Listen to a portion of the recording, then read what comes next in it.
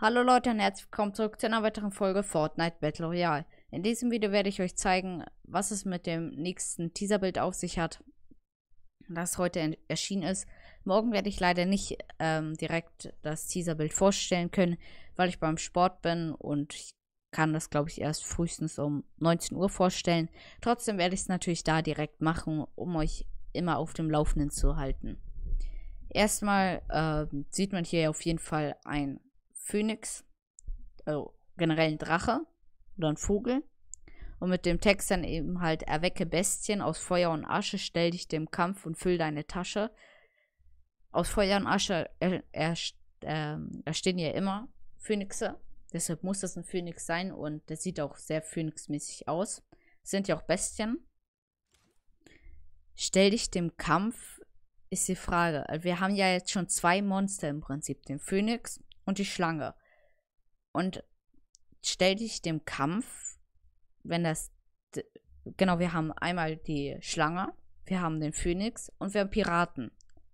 Stell dich dem Kampf, gegen alle drei kämpfen und dann eben halt den Stuff von denen einsammeln. Also, wenn man die tötet, haben die ja sicherlich, äh, tragen die sich sicherlich etwas bei sich, was wertvoll ist und damit kann man immer die Tasche füllen. Wenn man das Ganze jetzt nach dem gleichen Schema hier heranfügt, kommt der Mund des Skins schon ähm, zur Geltung. Hier im Mund ist eben halt der Phönix. Und dann fehlt uns morgen noch hier das linke Bild. Und ich habe eine Theorie aufgestellt. Und zwar sieht, äh, sieht ja der Skin schon so ein bisschen aus wie das hier. Beziehungsweise Theorie Nummer zwei. Und neben dem ähm, Feuerkönig, der ja auch mit Flammen ist, weshalb ich auf die Idee gekommen ist.